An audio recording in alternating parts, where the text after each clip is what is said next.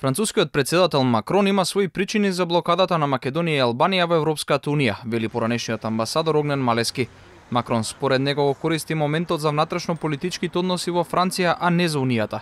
Причината за блокадата вели дека ја наоѓи во процесите на пристапување во Унијата од минатото со државите од Источна и Централна Европа. Макрон има е, и внатрешни е, резони зошто е ваква и аргументи се разбира и ги кажува. Секоја грешка во предходните примања се мултиплицира на новите, така што мислам дека Западен Балкан и земјите од Западен Балкан се ставени пред такви сериозни предизвици да многу од земјите од Централна и Источна Европа кои влегува во Европска Унија со нив не се среќава. Според Малески не треба да се бараат виновници при евентуалното недобивање на датумот од Унијата бидејќи земјава изминатите години се фокусирала на прашања кои за Брисел беа приоритет, особено во делот со соседите.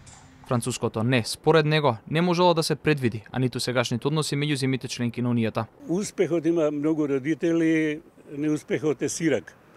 И можеме да бараме виновници и така натаму и сигурно има одредени пропусти, но мислам дека во случајов не се тие е, клучните, значи нашите е, дипломатски потези, клучните за ваквото решение. Тоа е еден склоп на околности кои за жал е, се резултат на сериозно доцнење на Република Македонија во евроатлантските интеграции Малески додаде дека земјава го направила потребното во однос на тоа што било побарано од официјален Брисел и очекува од Унијата да го направи својот дел.